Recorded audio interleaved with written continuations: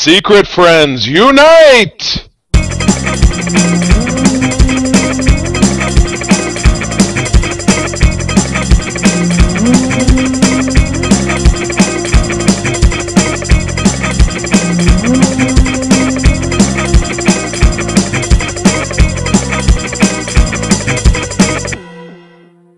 Welcome to the Secret Friends Unite podcast, episode 108. This is your guide to all that's good to nerd. I'm your host, Todd Oxtra. Joined by Lisa Goodman Hello. and Charlie Carden.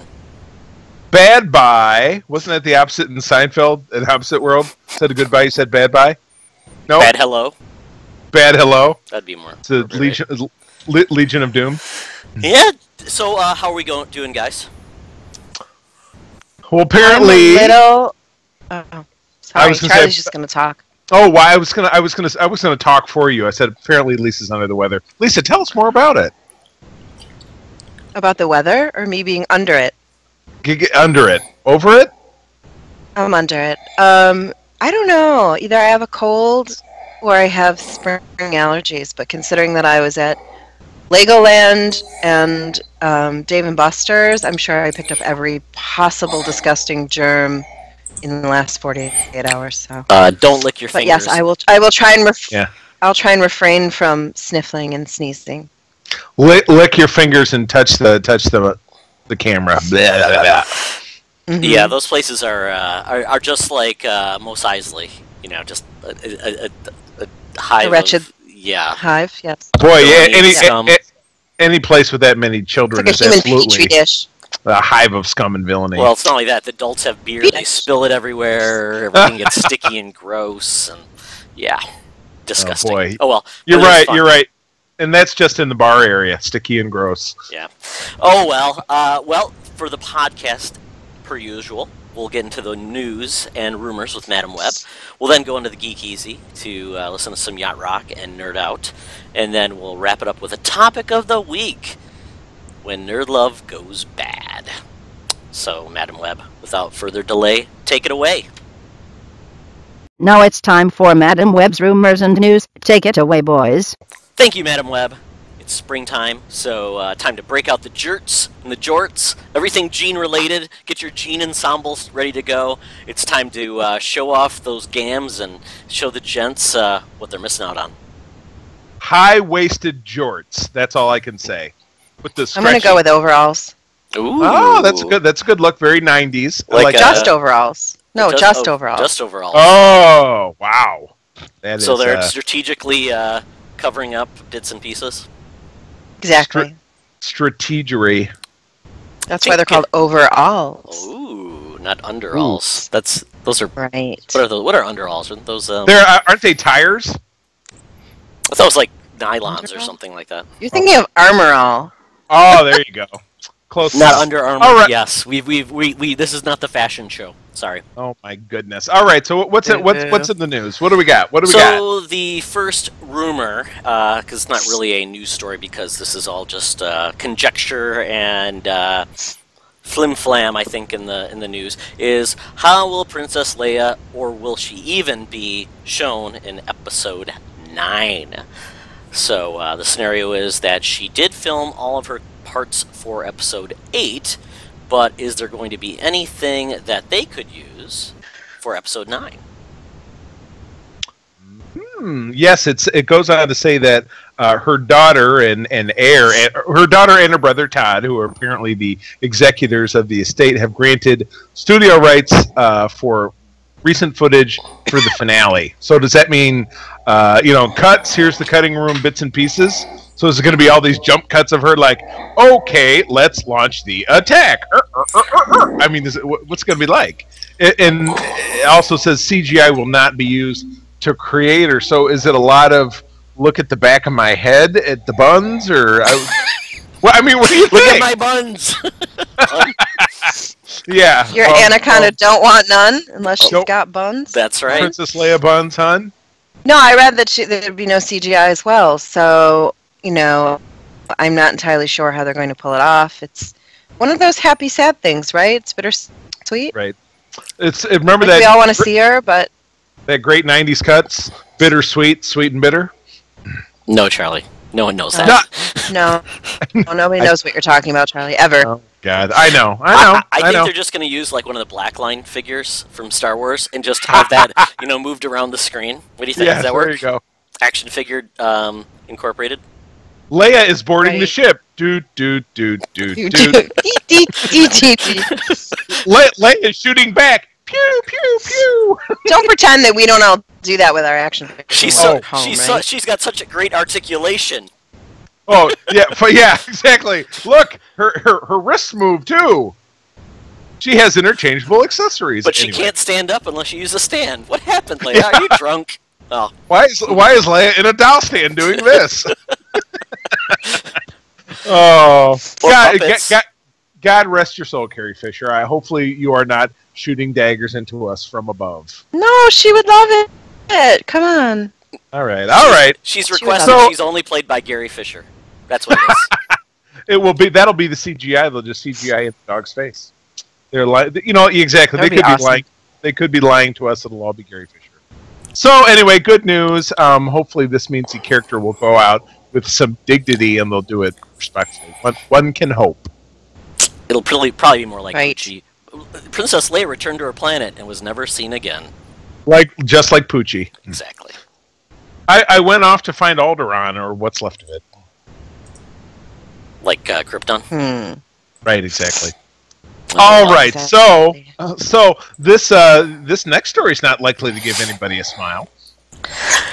Yeah, so with uh, the trailer of it coming out, um, unfortunately, um, you know, we're getting so you know, there's some some concerned citizens about how a certain demographic was um, is being treated lately, and that would be real life clowns.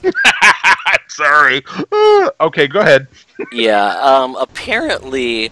Uh, they, instead of smiling, they are frowning. And nobody likes a sad clown. Everybody Nobody loves does. the That's clown, so why don't you? Do, do, that was a oldie oldie. Come on, sing it with me. Do, do, do, do, do, do. Okay, I'll stop. We can't sing it with you because we don't know what the fuck you're talking about.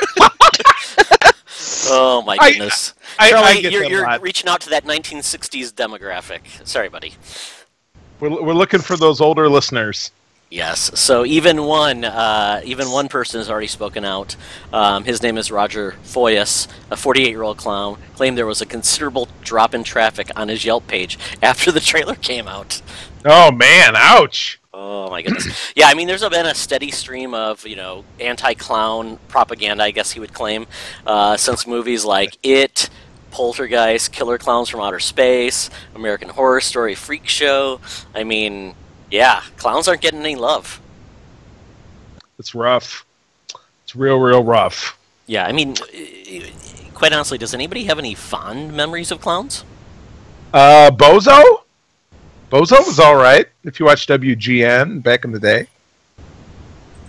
No, So I never thought Bozo was all right. I thought Bozo was pretty damn scary. I I don't like clowns. I guess I'm just, which is funny because I like it, but I don't find What a- it scary. I don't what like about- real life clowns what about because the my thing is, like, Charlie! what what is going on in your life? What is going on in your life that that's your career decision? Like you Mine's- want to become a clown. mime school didn't work out? I don't know. I just they just creep me out a little. I'm not being nice. I'm stereotyping clowns, and I should definitely go to clown sensitivity training. I think you could probably found it. Because apparently it's going to, Yeah. I mean, some kind of clown counseling is going to be necessary with this. With with this Clown lives matter. Yeah, Oh, yes. guess. Oh, there you go. Balloon animals matter. I mean, this is tough, but you're right. Who goes into clowning? Oh, I love to entertain children. There was uh, Todd. Did you catch? Can you guys hold on a second? My wife is printing something else. So I'm getting. You're probably going to hear a lot. Oh, Of, the printer's like right behind. You. Nice. Todd, it's you tax- are, You're just a mess today. We're all a mess it's today. You are- today. Yes. yeah, you you are the weakest link. I'm sorry. We love apparently, you though. Apparently, yeah, we have to get our taxes done. Well, the biggest so, link. Yes. Yeah, us, I already too. did mine. Uh, it's painful. Oh well. It, it Um, is. It's, it's hurtful for us too, because mo- mon- money goes to the wrong places, the wrong people. Try running a business. Oh, My yikes. taxes are a nightmare. Well, we have to do it now. My wife has an LLC because of her publishing stuff, so in a way, So we you have do to do a this. Yes, we do. So, yeah, uh, yeah. I Mhm. won't talk about that. But yeah, so I decided to bring a CPA in when that was uh, brought onto the scene. Too much Yeah, crap right. to deal with. I don't want to go to jail. I Why can not? cl- I can claim everything. Todd, yeah, Todd. I don't know that you would hold up in jail. I don't know if I would either. Oh, well, here we go again. I think I don't know. Okay, let's try this again. Uh, I don't even All know where we left off. What's a Um, good edit point? Well, just you start talking, Todd. We'll we'll use the natural. Uh, I don't know. Just jump in. Three, two, one, go. Yeah, so uh, in in spite of all the anti-clown propaganda we were seeing, you know, I think we need um, we need some pro-clown news. I don't know. Do you guys think what what could be a good clown positive character storyline TV show that I think would uh, you know change people's mind about clowns? Oh, I've got it. Uh, maybe a, positive. maybe a, some kind of a clown superhero on one of the CW shows. No. Clown hero on Riverdale. I don't know, something like that. Clown joins Agents of Shield. John Wayne Gacy uh, documentary. Isn't that his name? The clown serial killer? Yeah. That's, I think I'm I- not helping. Is my Lisa, not point. helping at all. I mean, we've in comic books we've got like what? Clearly, I don't Mimi. under. This is my point. I need to go to clown sensitivity training. Yeah, we've got Right. Screaming Obviously Mimi. Slapstick. We've got uh, Harley Quinn, the Joker. I mean, they're all kind of still on the negative side. I mean, Right. yeah, we we need. So I think there is a opportunity, just like when people see like. You know, oh, a new demographic comes up or a new property comes up, and it really starts a, a trend. Like you have the vampires, the zombies. Uh, maybe Right. clowns are next. You know, right? Ooh, there you go. A Twilight for clowns. Oh God! Big top is that what we're gonna call it? Big No. top? I don't know. No, Do- They sparkle. they do they could. sparkle? I don't see. I don't see why not. Well, they, you wipe wipe So the they're un- undead clowns because clowns aren't scary enough to begin with. No, I no. see. What about like well, they had red, the Red Shoes Diary, so they could have the Clown Shoe Diaries. They could make it go a little more adult. The big shoes diary, the oversized shoes diary. That's right. My goodness. So maybe you can't go positive in that way. Maybe you go a little more sexy with clowns. I don't know. This is- There's yeah. a beer brewery called, called Clown Shoes. That's right, and they're fantastic. Their their beers have great uh, titles. Very uh, very punny. Like, yes. I'm a clown and gonna destroy you. Uh, no, more like you know they, they, they do things with like uh, uh, they made a Minnesota beer specific called the Uni- the Luna Dragon, so making fun of the loon with a unicorn and a dragon. So there you go. They try to play around Yeah. with things. That is terrific. Yes. So, um, you know, guys, there's a big opportunity. Uh, once again, SFU will probably uh, not get credit for us uh, pointing this out. This is an opportunity. So go ahead, write your fanfics, your fanfic, put out your uh, story development deals to the networks, and uh, hopefully we'll be seeing the great clown onslaught of uh, 2019. Just remember, you heard it here. Give us some love. ons- Yes, we're doing our part. Well, Charlie and Todd are doing their part to better the lives of clowns everywhere. I'm just sitting over here being a bitch to clowns. Being a clown bitch. Clowny bitch. Clown bitch. bitch. I'm a clown. See, Graham Cyborg is now the clown bitch. That's right. oh, Lisa, you'll come around, just like I will to, to Baby Groot eventually. Oh, Yeah. in, in, Uh, in, a, in a distant future. That's right. When nobody likes Baby Groot anymore, I'll come around and be contrarian and say Baby Groot was the best thing ever of 2017. Baby Groot changed my. Baby Groot And- saved my marriage. Oh dear God. Oh well. Oh Um, dear God. and then we uh, last story. Uh, this actually came out a few weeks ago, but I'd been wanting to talk about it, but kind of got bumped because it's been kind of a slow news week.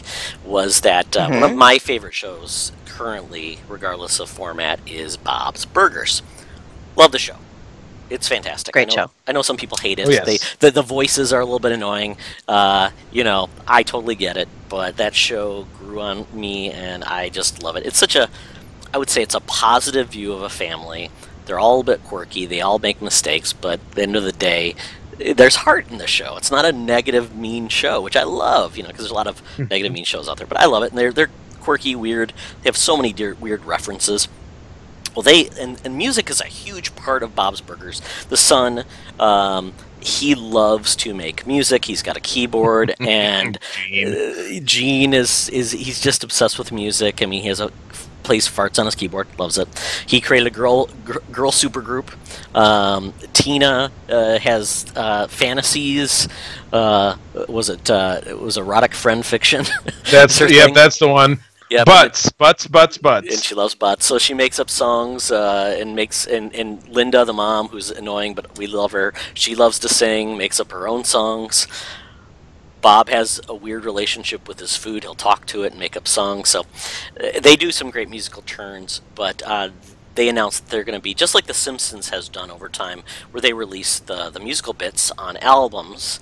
Uh, they're going to do the same thing with Bob's Burgers. So they have the Bob's Burgers album was nuts. And the coolest part, and Lisa, I think you'll get a kick out of this, is that there's like a deluxe version of this set. So um, they'll have CDs, they'll have um, uh, MP3s, they'll also have LPs. But the coolest part is this deluxe set. It's like 70 bucks. And I'm not a vinyl guy, but you're a vinyl gal. I am. I'm not a guy, but I am a gal. Vi- vinyl gal. And you, uh, you, you, you're am. at least half right. and and this is awesome. I mean, this Right. collection is fantastic. I mean, you've got you know obviously vinyl is all about the artistry, the you know album covers and things like that. The art is big. Where CDs they kind of lost that you know I guess excitement. Even though if you think about an album, the album cover and the CD insert are just it's a smaller version of itself. So I don't know, it's different. Um, with vinyl, typically if you got um, any any um, lyrics or anything, they're typically an insert, right? Right? Yeah. So Yes, so- yes, it's it's an insert that's called the internet. Or yes. Shazam. Okay, sure, why not? So, um, and then they're going to have these LPs are going to be colored like red, yellow, and green. It's almost translucent, which is kind of funky. Ooh, I love Ooh. colored vinyl. Yeah, Neato. uh, even the out the vinyl album is uh, it's a gatefold, so I think it's a three, just a fold out. Um, there's there's uh, stickers, there's patches, uh, there's a lyric book, like an actual bound book that's coming out, and I'm almost tempted to get the deluxe set because of all the cool swag. Oh my goodness, what is that? Brian uh, Ryan Adams. I'm showing off my, my yellow vinyl. Yes, Lisa loves Oh. that. The only cool vinyl I ever owned was a Pac-Man album that actually was a had Pac-Man on the album itself. Ooh, neat. In the center part, the spinner well, part. Yeah, no, no, the full the full thing was printed. It was Oh. a colored, uh, vinyl disc. Yeah, so Oh. Ooh, not aren't sure you why. fancy? Well, I don't know why they did that. I mean, I, we're adults into it, but I love this box set. Love the music. It's going to be two CDs worth of music, and it says three. Uh, now, I, I'm not hip to the whole. Uh, what does an LP versus uh, you know uh, long playing is right? You know, because there's only so many so much uh, Right. time on a on an album, so it's going to have basically.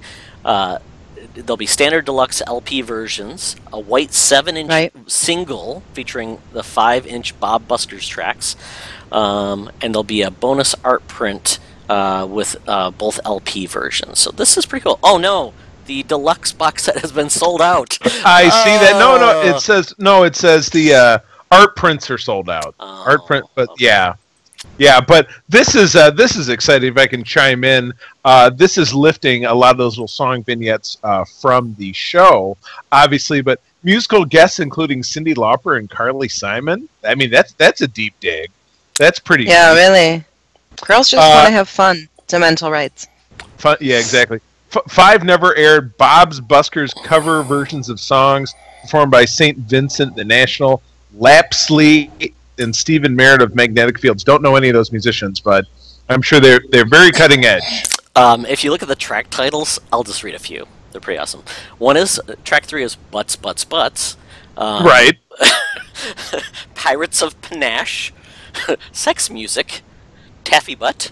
Um, let's see, groping Sex for music. Taffy butt. Yep, gra- You you you got beef squatched. yep, Uh, fun, fun, fun.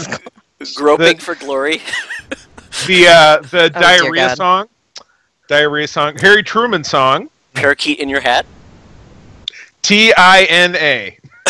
Mad Pooper. Oh, God. I have to Oh, this. Oh, gravy Funky Finger. Oh, Well, T I if you if you end up grabbing the uh, the digital, perhaps you could share. I mean, the funny part is, if I got the deluxe set, I'd ha- still have to get the digital because I don't have a. I don't. I. I. No. I am not into vinyl at all. I. No, you just give Yeah. the vinyl to me. Oh, that sounds like a you just plan. you just give it to me. Yeah, you just give it to me. the vinyl. Well, you don't want it to get appreciation, unused. No, I, I, do will. I'll, not. you know, wor- worst case, I will. I will get it you know, I'll, I'll procure it through the library and then I can share it. That's true. But shh.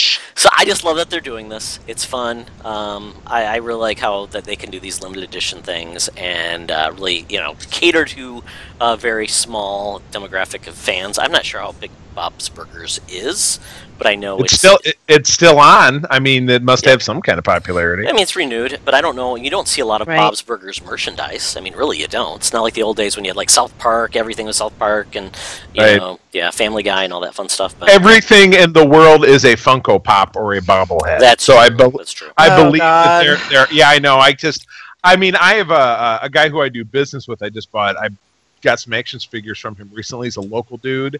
Uh, who the biggest part of his business is he has a wall of Funko Pops. I'm from floor to ceiling, probably ten or twelve feet. Funko Pops. I just, I just don't get it. Well, they're don't cheap. get it. They're well, they're beanie cheap. babies. Yeah, it's well. I think they're They're the beanie babies of the modern day. Eh, I don't know about that. I I think a lot of people just like them because they're cheap and they are Yeah. in every bit of fandom. So you don't have to spend Right. it, 20 bucks on an action figure, you just spend 8 bucks and they're usually pretty cute and they just sit on the shelf versus, you know, a 20 to 80 dollar, you know, other thing which, you know, I don't know. I mean, how, you got. who I, else is I making get. I, I, get- I get the point. yeah, who else is making like, you know, uh, Golden Girls box sets of toys? You know? This is yeah. I mean, the the Funko. I'll, I'll give them that. They do touch anything within the imagination. Oh, they're better Of than the, the, of the Hey! pop zeitgeist. yeah, they're better than the Funko reaction toys, which are just ah. no joy. Going back to crappy action figures of three and three quarters size. It was it was bad, and we moved beyond it. But let's move back. Yes. Right. Yes. Okay, well that takes us out of the news as we uh, hear the yacht rock playing in the background. So let's get our uh, fun on in the Geek Easy. This is Yacht Rock. Smooth rock classics from the 70s and 80s. Yacht Rock. Album out now. We're in the Geek Easy. We got uh, we're in the danger zone, which is uh, you know Kenny Loggins. Thank you for that. A proud member of the Soundtrack Society of the early '80s, uh, you know, including "I'm All Right." Right. Yeah. And And then he turned well, to yeah. Then he did that weird down in Pooh's corner, which I didn't ever I never understood. Oh. that that was odd. Well, let me What? let me You let didn't me know that jump Kenny in. Loggins made that song about Pooh, the Winnie the Pooh? Very odd. Yeah. No. No. no. Oh, thank me- God you let- clarified that you meant Winnie. Yes. Yeah, not- not not excrement. That was um if if I can provide a little yacht rocking knowledge, he did that on a very early album, and the Winnie the Pooh people drove a dump truck load worth of money up to his house, and then he created a whole album around it, it and like reissued it. It's really pathetic. Talk about selling out. Wow. Yeah, but this is also the man who gave me uh, gave us uh, "Meet Me Halfway" from the Over the Top soundtrack. Oh god, A gem. That was a on the Over the Top soundtrack. It was the main song. Have you ever watched that movie? I have watched That the movie. song I is don't. I don't correlate that song the- with that movie at all. Wow. Who was there? Well, a we- female like? Uh, uh, Nope, nope. Arm wrestler? nope. Just him. Oh no. no, fe- no female at all. Yeah, Big Bertha, the female arm wrestler of Over the Top. Yes. We should remake that movie Oh my with the three of us. But, Are but you thumb Big wrestling, Bertha? not I'd win. wrestling. Uh, With thumb wrestling, yeah. Go over the top, Dad. Ugh. Oh well. We, I mean, we watched it. I have, I have on DVD, and it costs like five bucks. I got it several years ago. I have a double disc. I know I talked about this not long ago. Over the top with Demolition Man. So Ooh. April night. Oh God! Hey, it's Bad Movie Sunday. This was maybe a month ago when we watched those two. It was, it was a laugh fest. I'll give Demolition Man a, a, a you know a point on you know just making fun of you know future things and um, yeah it was okay Sly, you know Sly Stallone trying to be a little comedic uh, Sandra Bullock I think it was one of her first early Yep. roles yeah Yeah, yeah. yeah oh well whatever I- happened to I'm- Sandy Okay, Bullock we d- we digress. oh yes. Yes, please. Okay, well, in the Yacht Rock, we listen to, uh, or sorry, eh, in the Geek Easy, we listen to Yacht Rock, and we talk about what we're geeking out about. Uh, so uh, this week for me, uh, I had mentioned in the group that I was going to go down the rabbit hole and try to re-embrace my love of X-Men, and uh, I decided that I s- will subscribe to the new Resurrection, as they're calling it. That's their launch of the relaunch of the X Men books, and uh, basically we have X Men Prime, which is kind of like setting the table for all of the direction of the X Men books, and then you have the spin-offs, which are two teams: X Men Gold and X Men Blue, which is a basically going back to the 90s when Jim Lee did that famous X Men number one that was like the highest selling comic of all time, I think, at a time. Gatefold. Yeah, Gatefold. Gatefold. Uh, I think they had like 85 different versions of the cover. It was crazy. yeah, I mean, this is this is right in the heart of the you know when I got back into X Men, so it was a big deal for me. And, If, if I can jump in, you know what's great about that X Men number one? It literally has no value in this day and age. I have a copy of it I got for 50 cents. Supply and demand. Pristine. yeah, Yeah, exactly. Supply and demand. You, that was when everybody thought that the the uh, death of Superman was going to fund their children's college education. Except everyone thought that, so everyone bought the comic. So yeah, that's just Right. not how it works. Collectibles have to be rare to have their value. Right. So well, so the Right. gold, the X Men Gold team will be um, more along the lines of like the classic, uh, all new, all new uh, giant sized X Men you saw with you know Night uh, Nightcrawler, uh, Colossus, uh, Storm, uh, that team Nightcrawler, and also uh, Cyclops. That is uh, one of the team. We have kind of a that grouping. Cyclops is no longer existing. Uh, he's dead, unfortunately. Sorry uh, to spoil it for anyone. And uh, we've got uh, we've got the daughter of another timeline uh, of uh, Jean Grey and Scott Summers, who was um, call it Rain. Fi- Or, or sorry, um, I can't remember what Uh, her name was. Rachel. Rachel, was yes, it Ra- Rachel Summers. Yeah, yeah, and she Yeah. just goes by Phoenix, right? Just no, Phoenix not or- anymore. Now she's got a new. Oh. now she's got a new name because she felt. Oh like yeah, it was Yeah, Prestige, Prestige. Prestige. Because I read. Spoiler alert! I read it too. I read them Yeah. both. yeah. So that's one of the teams. The other team is basically the the the blue team is the all new X Men, which is. Son is making so much noise. Um, the the blue team is essentially the all new X Men, which is basically the time displaced original X Men brought forward, and some there's there, there's some other team members on that team. But this is kind of resetting the table with the X Men, trying to make them more along lines of um, heroes rather than just mutants. So they've tried this before, but I thought, you know what, I'll give it a try. Um, I like the lineup. I like what they're trying to do.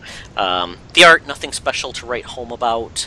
Um, they, it's funny because they brought the the X Mansion because the mutants had been being attacked was moved to Limbo, which is the dimensions of demons, so they could not get attacked by humans. So they moved the X Mansion back to New York, and as they're reestablishing themselves, they get a bill.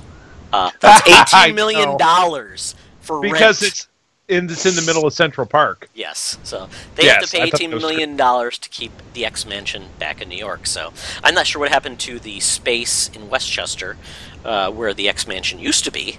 Um, condos, condos. Somebody take I'm it sure. over? Did this and get sold out? Was it eminent domain? And the city of New York now have uh, put uh, all their sewage sites there. I don't know. There, there is a Walmart there. Yeah. Sorry, they're Yeah. everywhere. So th- I'll say the comic wasn't bad. It had its fun points. It, it, it definitely had a lot of callbacks to a lot of things. The art was nothing to, to write home about. Um, but I'm pleasantly surprised at, at its quality, so I'll keep reading it. Um, it's a little dense, though, if you're new to the X Men franchise, that, you know, it's still going to be hard to parse out, you know, where's this book going?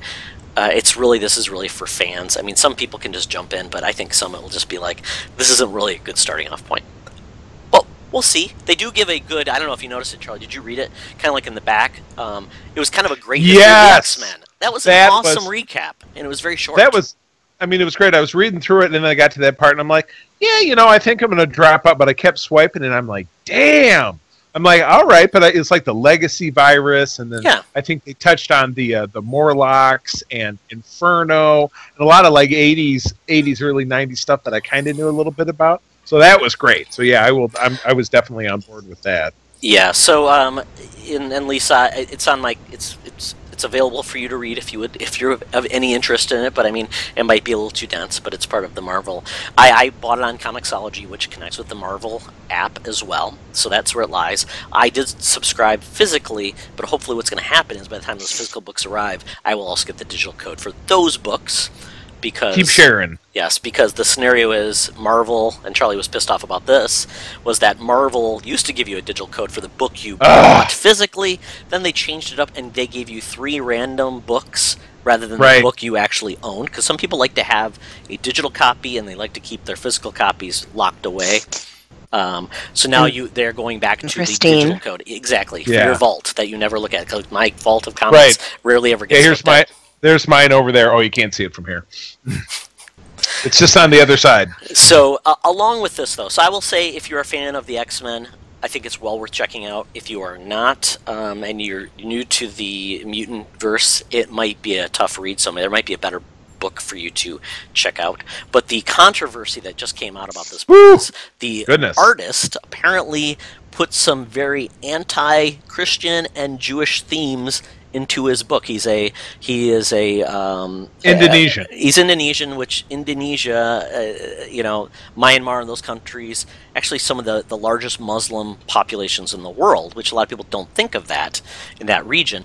But um, he is a Muslim artist, and he obviously had some political viewpoints and put some of those notes in there.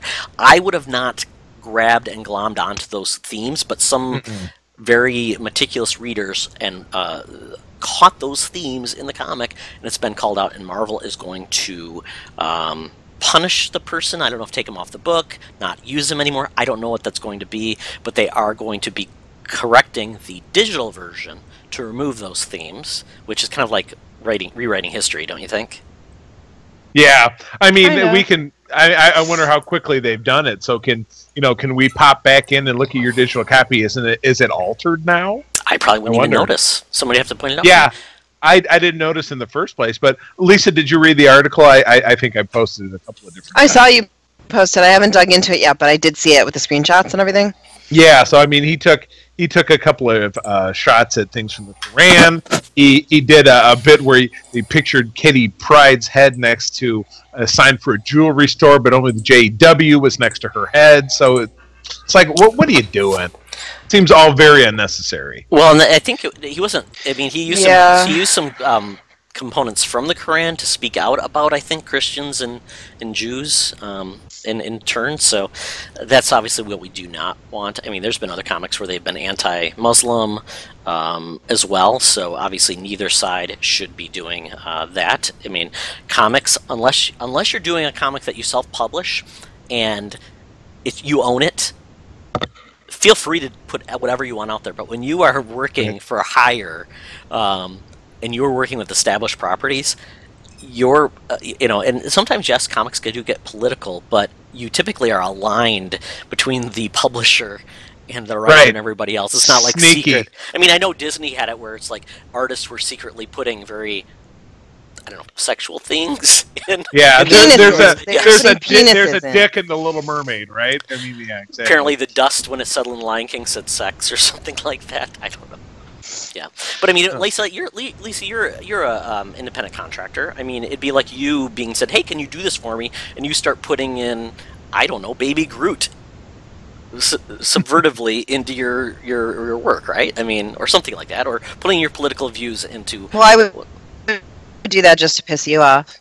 That's true. I don't know if it would be worth losing a job over pissing me off, but Let, oh, Let's be honest. I think it's more likely that I would hide a penis in my work than do anything that's resembling Well, I mean, speech. who- Because I love who would- everybody. Yeah, who wouldn't? Who doesn't like to just throw a dick in here and there? I don't know. I'm going to be looking at every V that Lisa puts in her artwork to look for secret messages. no, I mean, consider, you know, I am, I was born and raised a Jew. I have friends of all walks of life. So, yeah, I'm not a big fan of anybody.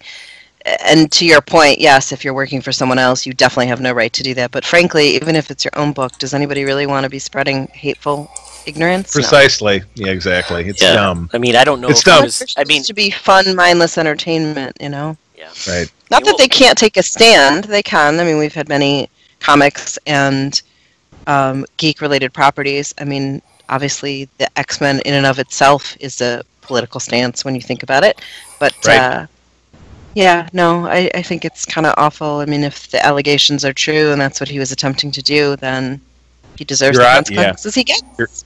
you're out of there, buddy. Uh, yeah, I don't I don't see this guy going on to uh, to continue to be some kind of a big shot. I think he Right. he rolled the dice and, and is going to lose if that's in fact what he was trying to pull off. Right. Oops. Like maybe he thought he was being clever and nobody would catch it. I don't know. Right, exactly. So anyway, Yeah, so uh, I don't know, Charlie. Thumbs up, thumbs down from you. The book. thumbs up, the- the message. thumbs up. I'm now uh, curious to try to read it again and see if those messages are gone. But uh, yeah, I will. Um, you know, as uh, as as you share that book with me, I think I will continue to read it.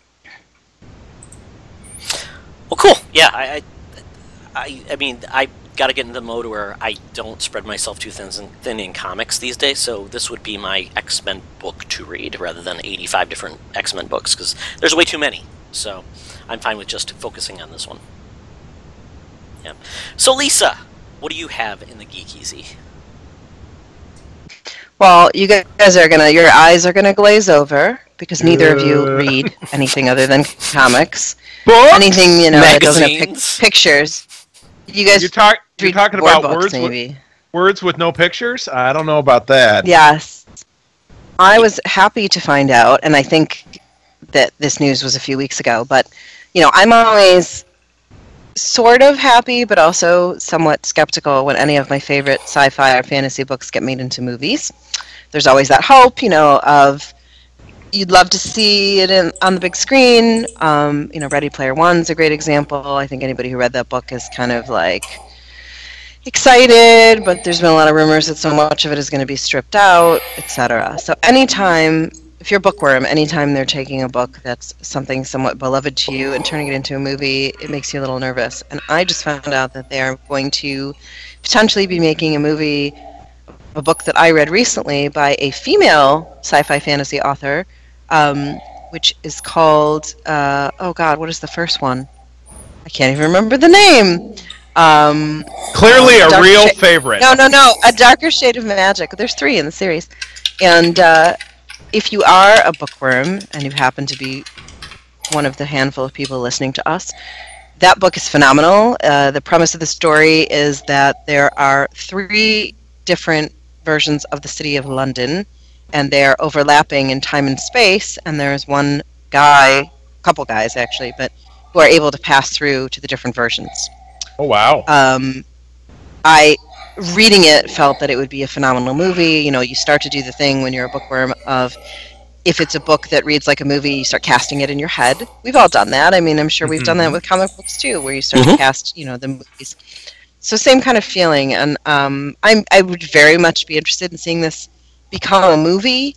I don't know if they could pull it off and who would be in it, but I think it's a pretty phenomenal story. So if you are a book reader and you lean towards sci-fi and fantasy, not of the fairies and mushrooms variety, but of the more interesting world-building type, those books are great. They are by a woman named V.E. Schwab. I think she's actually known for writing young adult fiction before this, but uh, the first one is called A Darker Shade of Magic, and there's two books following it, one of which just came out, the third, and they are really um, fantastic books. You know, kind of, I think I read them in three days. Wow. So this is More Sony. it's a movie friend. So I don't know. Sony Um, optioned it apparently. They won the bidding war. Oh, I was reading up uh-oh. this, Lisa. Uh, oh, and the that's not good. And the people who are Yeah, producing no doubt. it, the people who produced it, um, uh, they uh, made Passengers, um, and let's see, and they're also producing The Fate of the Furious, which we know is Fast and Furious. Oh my god. Fast the and Furious trailers, is like 47, right? the trailers for that movie just make me cringe. and apparently Oh. Gerard Butler is on board also to produce.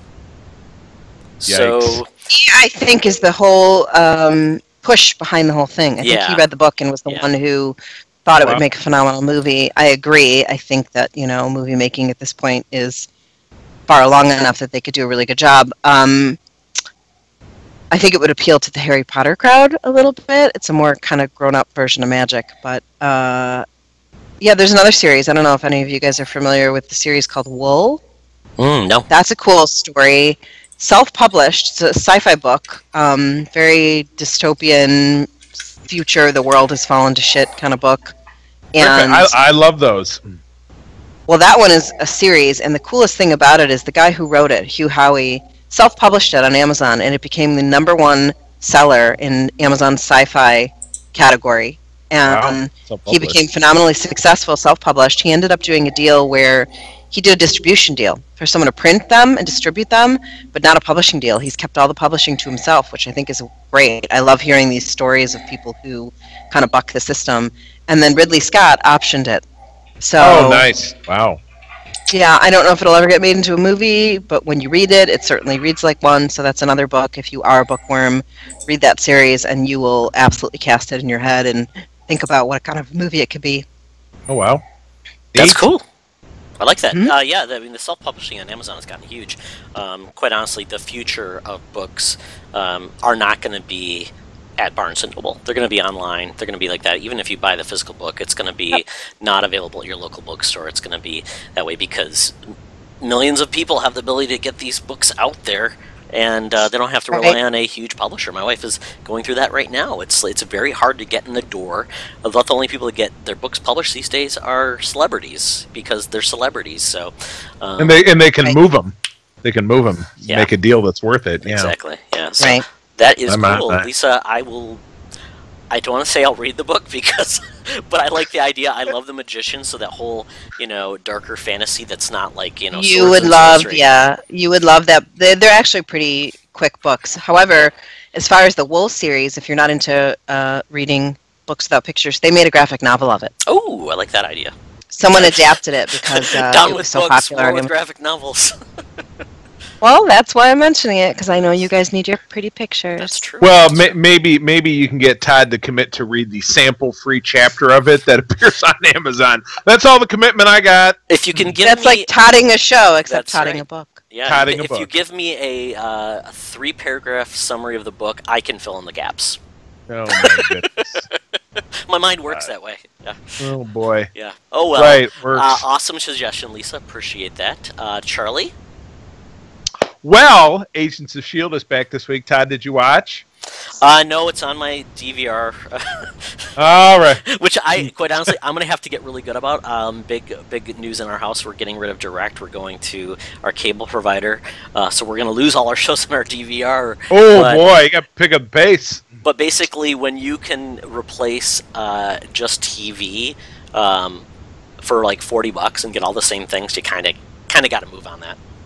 Right. I hear you. But anyway, Agents of Shield is back. Um, it was phenomenal. Um, Todd, did you see the most recent episode before the winter break?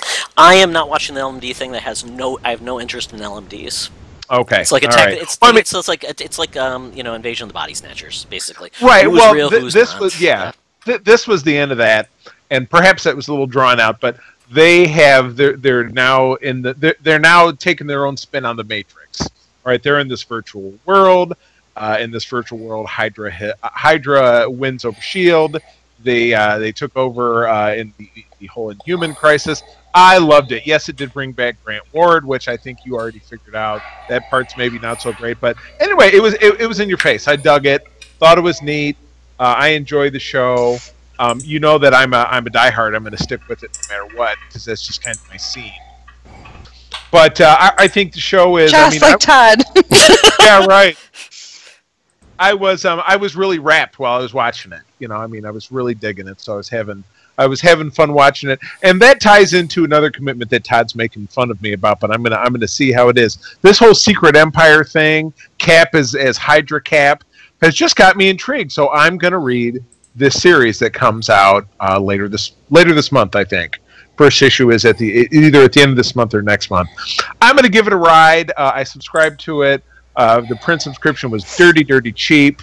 Uh, I'm going to give it a ride. If it doesn't work out, what's nice about that, Todd, and you'll find this too with your Marvel subs, is that it's easy to move stuff around. You just get on with one of their people and say, I'm going to move these issues over to this other thing, and you're all good. So I'm going to give it a ride. Uh, that subsequently gives you guys the opportunity to check it out if you're so inclined. Um, but Cap is the driving force. I've wanted to get back into something Cap related um, because that's you know he's he's my number two when it comes to comic book characters, and Spidey's supposed to have a big part as well. So We'll see. You're right. It's thrice thrice burned because Secret Wars was milk toast to us, to me anyway. Though I really bought into it with some of the tie-ins, and then Civil War Two was just a total failure for both of us, Todd, you and me. Um, so I, I'm taking a chance on love. We'll, we'll see what happens. Is that coming out like bi-weekly? What's what's the schedule Yes, for the book? it is going to be bi-weekly. So maybe they're trying to learn from their mistakes to just get the story out. Bang, bang, bang. It's out in three months. You know, it's it's it's nine issues plus a zero, uh, a zero issue that comes. So that's ten issues. So they're just trying to bang her out. So you're going to be so if you're getting this physically, they say six to eight weeks, right? So you potentially. It's the, not- the writing on it- the wall will be out there by the time you get the book.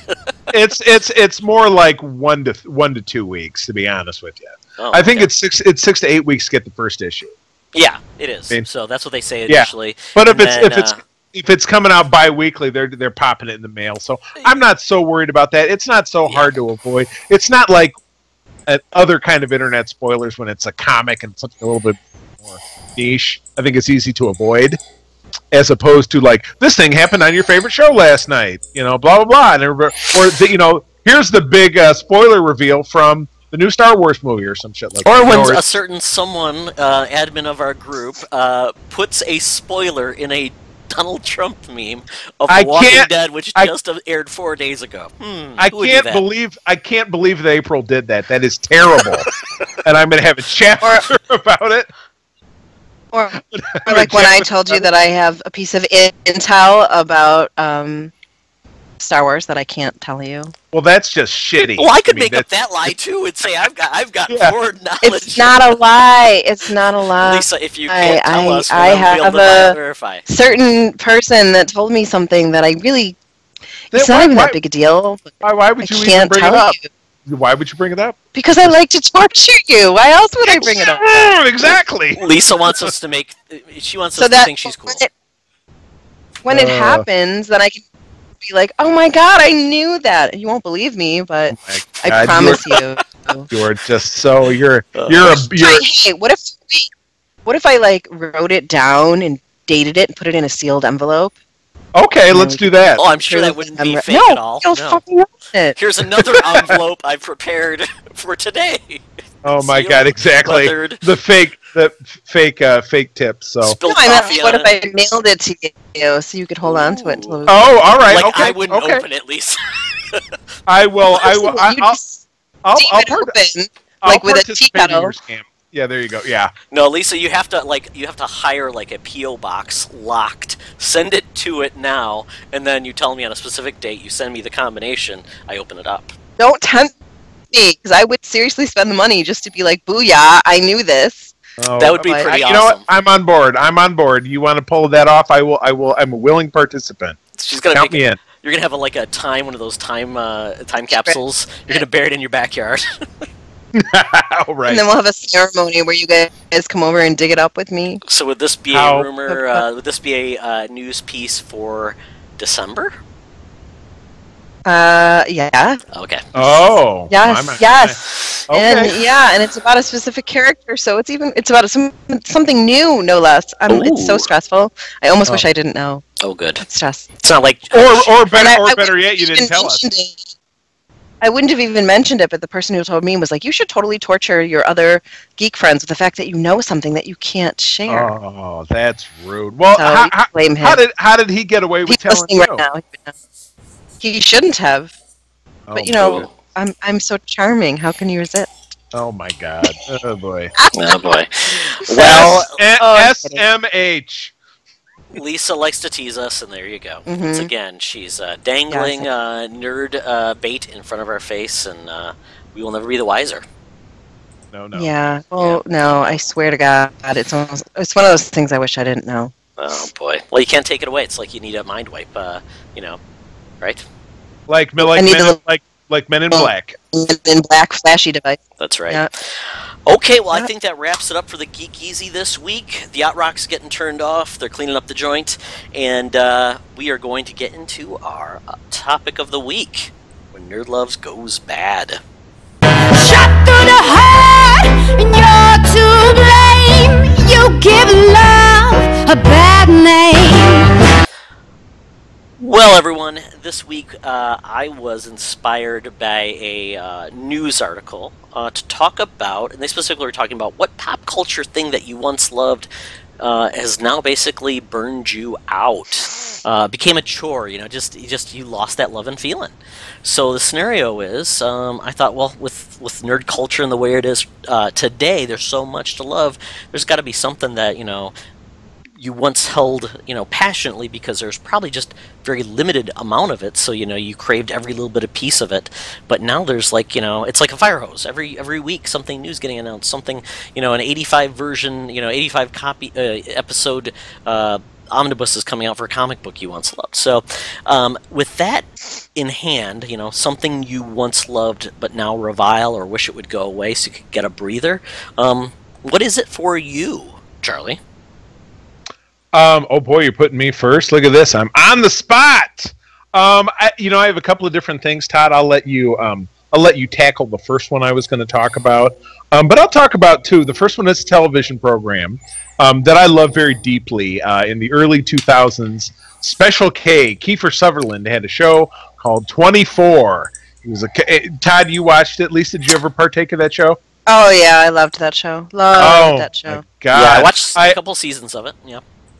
You know I, I adore it. I'm actually i got I, I was flipping through amazon a couple of months ago and there was a tv movie that was between seasons and i watched it and that sucked me right back into a rewatch. So i started rewatching seasons and just really really enjoyed even though i'd seen it many times before. So um, back after uh, after the super bowl uh, fox's mid-season mid-season replacement, uh, one of their mid-season replacements was a revival of the show. Now it was same format, same kind of counter-terrorist busting uh, character, but it was a new character played by Corey Hawkins, Walking Dead. Uh, he was Dr. Dre uh, in uh, the Straight Outta Compton. He was in the King Kong movie uh, that just came out.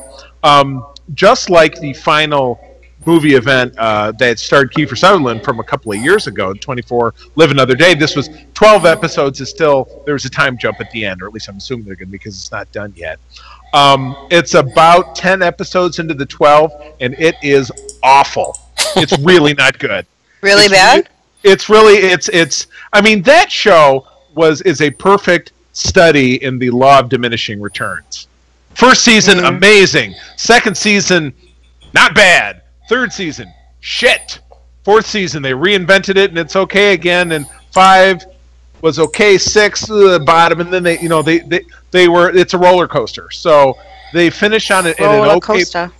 They finished in an okay roller coaster of hate. Um, but really, this this new character they try to he's a you know he's a, a black black lead instead of a white lead, and they try to work in some black culture stuff that just falls really flat. Um, Black it's culture. kind of it's the same uh, same kind of Middle Eastern terrorist. They go. I mean, this show's gone from Middle Eastern terrorist to Russian terrorist to this, that, the other Mexican terrorist. They've just done all kinds of. So they're back with the steady Eddie, that is the the Muslim terrorist, and it just just very flat. No surprises. Everything's super predictable. I just want it to Boring. be done. I just want it to be done, but I'm hanging in there because I I, I guess I want to know how it ends. And that is overriding my instinct to say this is a piece of shit TV show. Um, Todd, that that um, that report that I shared earlier this week from TV Guide, renewed shows, shows on the bubble, canceled shows. This one's on the bubble. I hope it goes away. I don't want to feel the pressure of having to get sucked into watching it again because it's just it's just not great. But again, my fondness for the original program kept me hanging on, and, and it shouldn't. I mean, they even brought back um, a heritage character, Tony Almeida, Carlos Bernard. They brought him back, and I'm like, oh, that'll make it great. It did not make it great. it did not. It did not make it great again. It did not make Uh, Won't it get great fooled again, again. won't get fooled again. And then my second thing, um, and Todd, you and I uh, go back and forth about this a lot. Uh, digital comics are a piece of it, but back in the day, Todd, when you and I uh, were in college together, so this is 20 years gone by, what did we do every week without fail? Comic book shop. comic book shop. We went down. There's a comic book shop on uh, Michigan Avenue in Lansing. It was uh, between the Capitol and Frandor. We went there every week. I'm drawing a blank on the name of it. I think it's still there, but it was every week. It was I'm getting this title, and I'm get I have my pull list, so I got my little brown bag of two or three books, and I'm reading them every week, and then I'm putting them away, and I'm going back for more because the comics were two bucks. Were they still a buck seventy five at that point? Uh, two bucks. Super, Two buck su- super Yes. yeah, bucket shot. It was super cheap hobby, um, and it was just a weekly deal. So you know, I had had subscriptions uh, when I was a kid, when I was in high school. That I just I went to the got to get it and smell it and read it every week and bag it and put it away and. Um, Did you say Todd- you smelt it? whoever smelled it, I was a, so that was a little, creepy. that was a little bit more about the old books, you know, just get that smell. You were huffing comic books. A little bit. Um, but Todd, I think we both got out of college. We both kind of got away from it. Um, and in one way or the other, you and I, we, we read trade paperbacks. Then digital became a thing. So we not only buy, but we have Marvel Unlimited. And then what I buy, I share with you. You share what you buy with me. So, you know, going to the comic shop has just become, uh, you know, I, I I, I, I do business with some of these people. I'm friends with some of these people, but it's just in a lot of ways it's kind of a, it's kind of a racket. You know what I mean? I, I- know it's it's tough for them, but like back issues, here's a five dollar back issue that I would get for fifty cents at a at a, a con or something like that. You know what I mean? So it just becomes this laborious chore that that I've had an easier time giving up. You know, I mean, Todd, and, and again, it's convenient for me to pop into a comic shop and look around. But for Todd, I know for you, it's it's not even it's not at all convenient for you to visit the comic shop. It's completely out of my way to do it. Right. And, Really? You don't have one near you? um, I mean, near me, but I, I don't pass it along my normal path of going to work or anything like that. So I would have to There's no actually point in plan- having like a pull list or Uh, anything. No, I mean if I did, if they gave me a discount or something, that was back in the day too. They'd give you like a ten percent discount if you were normal, you know, regular or whatever, which would be very convenient. you were normal, so you didn't get the Yeah. discount. No, I didn't Yeah, have a discount. They looked too at me and said, "Oh, that guy looks abnormal." But uh, no, if you were a regular uh, shopper, they'd give you a discount. They don't really do that much anymore.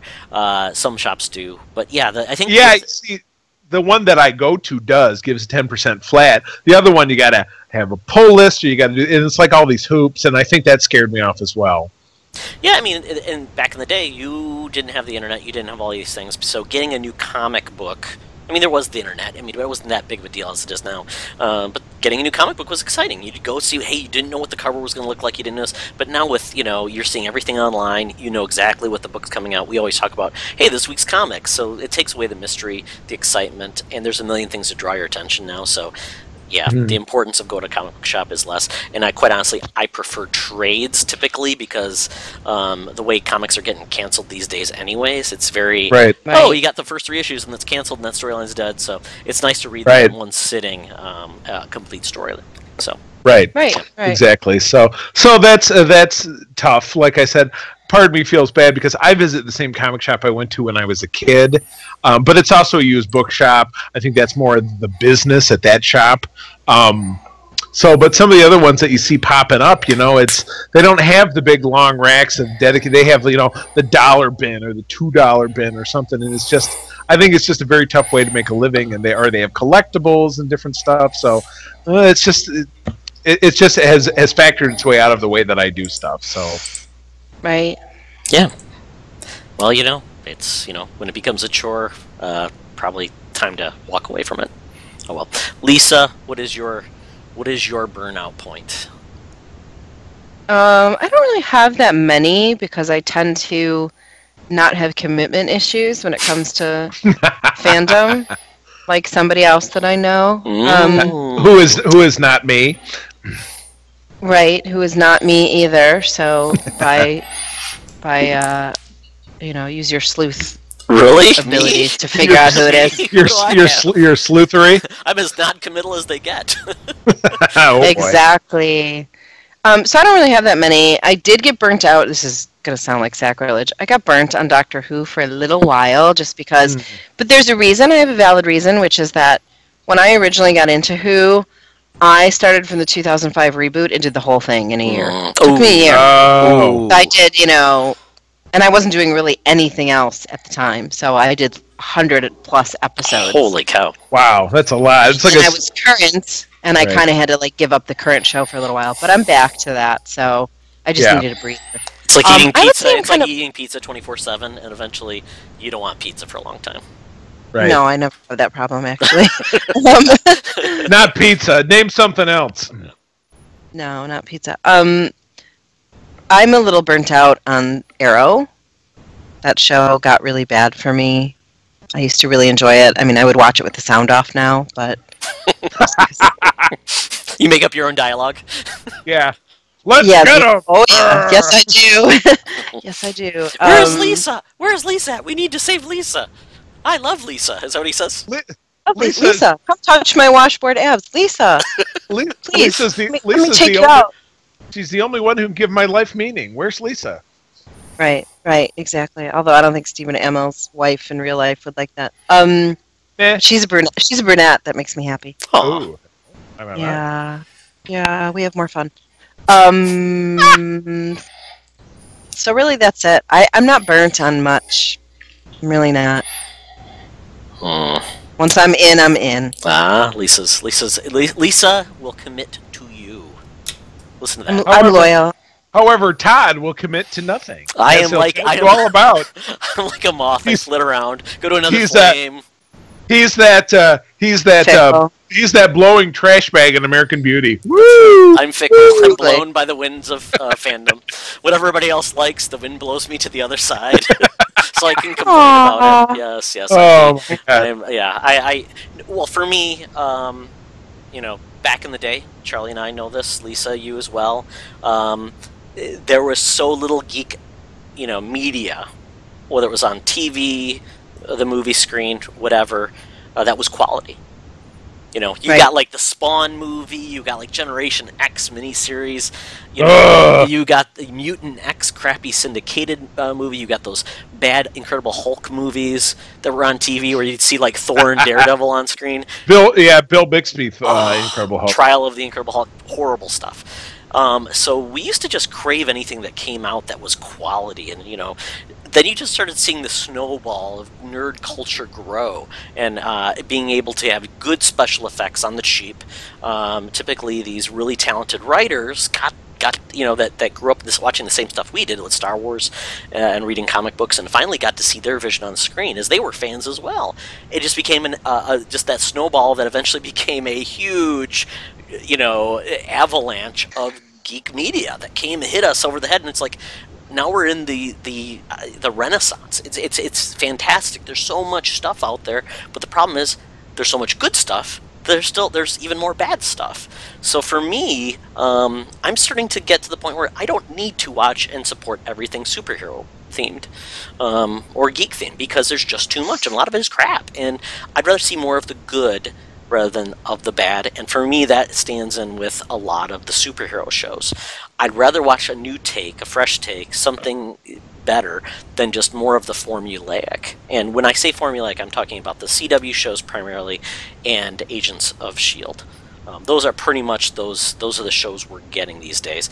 And quite honestly, it just feels like they just took the A team and just plugged in superheroes to a large extent. The way that the show is set up, the only thing they've changed is having ongoing story arcs. Um, rather than just every episode you end it and everybody does a high five in slow mo at the end, right? Is that what they do? Ooh. Yeah. Yeah, Yeah. clap, Stop. Yeah, clap or- noise. Or they used to, and the more you know. It's almost like taking cartoons and doing that. So, quite honestly, this, the, the CW, I don't watch Arrow anymore.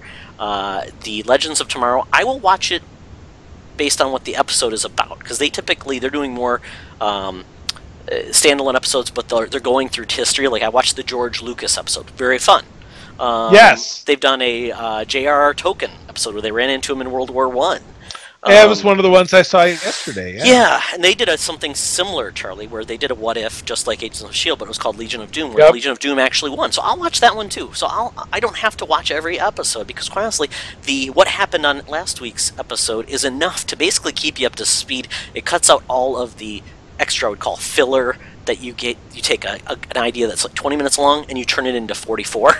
um, and I feel like there's just too much of that. There's just not enough must see in those episodes. There's eno- there's a little bit of good stuff, but not enough. So I've kind of get the point with even Supergirl that kind of gets tedious. The Flash is probably my favorite. Yeah. Um, Agents of Shield has gotten better, but it took so long, and there's just so many episodes. Just like, hey, can we do 13 of just good rather than 22 of eh, okay?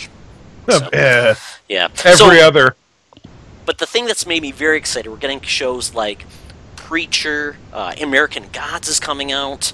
Um, we're getting uh, more shows like that, Magician. So we're getting, I think, some things that are doing things differently from different um, authors, whether it's from graphic novels or um, standard, you know, books that we're seeing on TV, which makes me Books without excited. pictures. Yeah, books without pictures, novels. Yeah, so I'm very excited with that because that means we're just going to get more of things that are different versus more of the stamped. Because I would hate to see, you know, we're hearing even a Squirrel Girl, Squirrel Girl shows coming out, Cloak and Dagger, um, Runaways. So we're just going to get inundated. So I, I quite honestly, I think there's going to be a lot of casualties, and I'd hate to see good shows lose out to mediocre, bland shows. So that is my. I mean, it, it all has to do with what the what the sheeple watch. I think we all know that's what keeps bad stuff alive, and but sometimes Charlie, you're, you're one of the sheeple because you see, I watch. 'cause I I'm know! I know. What the heck? And you have terrible taste anyway. Yes, I- your movie updates to the group have informed us that you will watch anything. that's- Charlie has that's- questionable taste at best. That's why At best. I am I am speaking for the sheeple.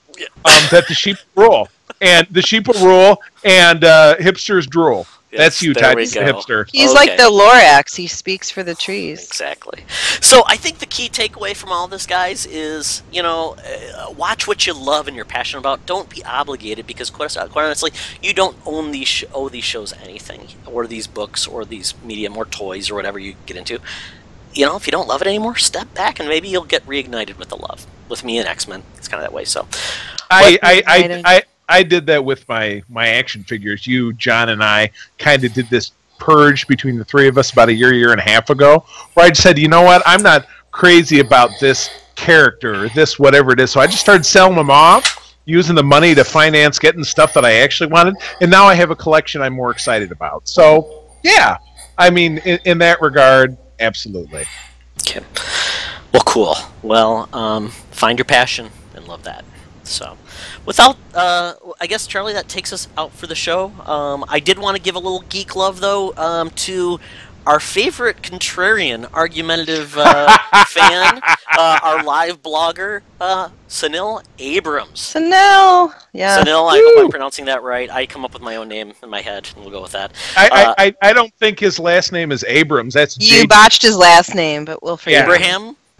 Yeah, the fact that you called him Abrams will result in a real nasty I comment to do that because right? he- He's not a fan of J.J. Abrams. J.J. Abrams. Yes, that's like that is his defining characteristic uh, in, in in a lot of our dialogue. So That's right. anyway, At least call him Sunil. So that's. Sunil. Uh, yes, he has a blog. He's been a big fan of our show, and he's a big. uh, We're a big fan of his as well in the group with his Except me. ability. He's not a fan of me. That's true. Lisa and him have uh, uh, a kind of the light the dark of the group, you know, and hopefully, you know, Right, he can be more like me and just be happy-go-lucky and forgiving and non-judgmental. right. So uh, if you want to have fun, check out Sunil's blog. I don't have a uh, I don't have an address here, but I'll add it into the group, and you can also, um, you know, follow along our show with him and make comments and have fun. Please, Mhm. please Engage him do. in debate because he loves that. Oh, he loves that a lot. He loves talking about the Force Awakens. Just Yes. get him. His get him favorite topic. Yes. Favorite top. Yes. So thank you, Sunil. Uh, keep up the good uh, argument and uh, live life and episode seven forever. Woohoo! Yeah. Woo! Yeah. Just so like- uh, Baby Groot forever. that is the show for this week. Charlie, take us out. You got it, friends. As always, thank you for joining us. We are uh, uh, an outcropping, a side project, a legacy of the 24 Facebook, the 24 of the of the Secret Friends Unite uh, Facebook community and podcast page. Uh, find us over on Twitter at Secret Friends U. Give us a twittering, a, a, a twinkling, a Twitter bomb, and we'll Twitter bomb you right back uh, in a, in of course, a very um, friendly, nonviolent way. Uh, send us an email over to the old mailbag, secretfriendsunite at gmail.com with questions, comments, concerns, and we will read and make fun of them. Um, I'm going to tell you, as always, thanks for joining us. Please keep on trucking, and sharing is caring. Be the hero, not the villain. Be the villain. It's more fun.